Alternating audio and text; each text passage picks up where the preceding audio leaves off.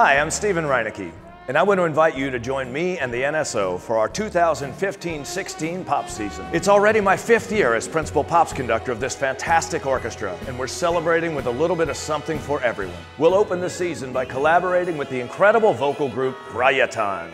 From Helsinki, Finland, their name means boundless, which perfectly describes their talents.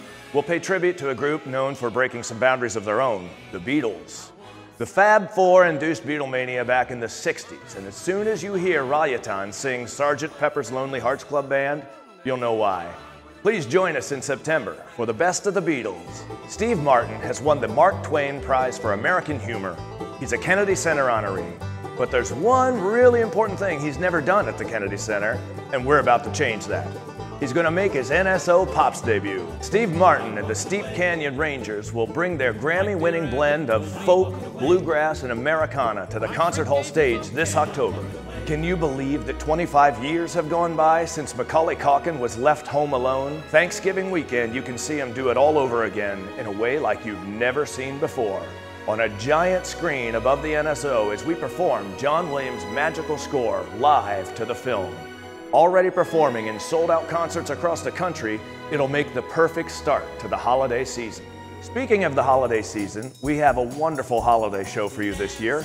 The great grandchildren of the Captain and Maria are back.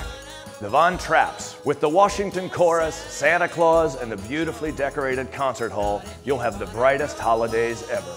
There's early Broadway, the golden age of Broadway, and then there's Broadway today.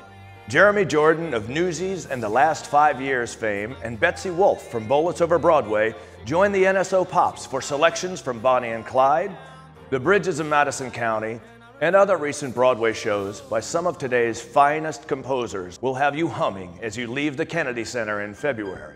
In May, Motown comes to the NSO Pops. From the 90s up to today, Boyz II Men have created hit after hit, becoming the best-selling R&B group of all time winning four Grammys, nine American Music Awards, nine Soul Train Awards, and three Billboard Music Awards. With songs including The End of the Road and Water Running Dry, you sure don't want to miss this one. The pop season closes with Jason plus Gershwin.